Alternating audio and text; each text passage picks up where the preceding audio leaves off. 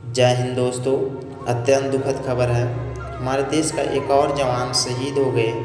बता दें कि झुंझुनू के खुतौट के निवासी अनिल कुमार हमारे देश का रक्षा करते हुए वीर गति प्राप्त कर लिए।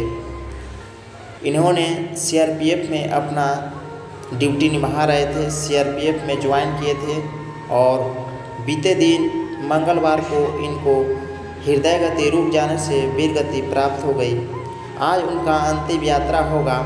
तिरंगे में लिपटे आएँगे और आप लोगों नज़दीकी में हो तो अंतिम यात्रा में ज़्यादा से ज़्यादा संख्या जाए कि क्योंकि कोई भी परिवार का आस लगा हुआ तो होता है कि मेरा बेटा तो शहीद हो ही गया, लेकिन अंतिम यात्रा में आकर ग्रामीणों और निवासी सभी आकर हज़ारों की संख्या में उमड़े। जय हिंद बंदे मातरम। अगर इस फौजी के लिए ज़रा सा भी रिस्पेक्ट है तो कमेंट में जय हिंद ज़रूर लिखें और वीडियो को ज़्यादा से ज़्यादा शेयर करें।